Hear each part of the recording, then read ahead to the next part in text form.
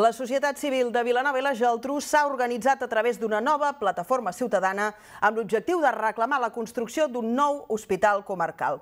De fet, reclamen dues línies d'actuació, una a curt termini per oferir un millor servei en els centres actuals i una segona on reclamen aquest nou hospital. L'associació que s'ha presentat aquest mateix migdia recorda que l'administració incompleix els seus compromisos des de l'any 2010. Per a les properes setmanes es preveu un seguit de reunions per poder fer públiques les seves peticions i es començarà també a recollir signatures. El punt de partida serà la Fira de Novembre. L'any 2010, el Departament de Salut i CatSalut van signar un acord per la construcció d'un nou hospital a Vilanova i la Geltrú, amb una superfície de 50.000 metres quadrats i una inversió de 135 milions d'euros. 14 anys més tard, la construcció d'aquest hospital segueix en espera. Avui s'ha presentat l'associació per a un nou hospital comarcal, una entitat que defensa que ara és el moment per mobilitzar-se per exigir una inversió real en un hospital adaptat a les necessitats sanitàries de la regió. Afirmen que les instal·lacions actuals són obsoletes i no poden garantir una atenció sanitària de qualitat. Un servei que quedaria encara més obsolet amb l'augment de població previst per als pròxims 20 anys. El Pla Territorial del Penedès calcula que Vilanova hi viuran entre 87 i 91.000 habitants.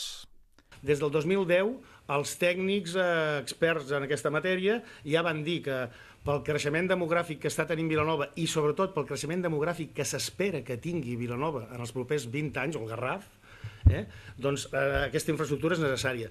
Nosaltres el que la plataforma neix amb la, amb la intenció d'això, d'aglutinar ciutadans, de que s'apunti tothom i que per, per aquesta manera tenir més força per bueno, per exercir una pressió, és a dir, per estar pendents de que els compromisos es compleixin.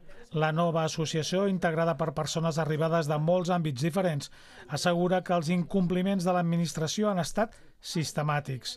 El 2014 es va aprovar redactar el pla funcional i els anys 2021 i 2022 es van aprovar al Parlament dues iniciatives per instar el govern a redactar el projecte del nou hospital i a dotar-lo de pressupost. Però ara per ara l'hospital continua sense avançar. La línia de la construcció d'aquest nou hospital, tot el que puguem esperar ha estat a l'aigüera. És a dir, en aquesta línia no s'ha fet res. No sabem el per què no s'ha fet res. El que sí sabem és que no s'ha fet res. Aleshores, han passat 14 anys. La, la, la població està sent cada vegada més grossa, més àmplia. Eh, entenem que les necessitats sanitàries de la comarca són cada vegada més àmplies i necessitem actuar en, aquest, en, aquest, en aquesta línia. No és el primer cop que les demandes de millores de la sanitat pública arriben als carrers de Vilanova. En el procés de la reordenació sanitària del Garraf, una plataforma veïnal va sortir al carrer per demanar millores. Ara fa uns anys, els polítics i professionals de la salut també van sortir al carrer reclamant més inversions. A part de recollir signatures, la nova plataforma s'ha proposat visibilitzar el problema, mobilitzar la població, exercir pressió i construir un front unit.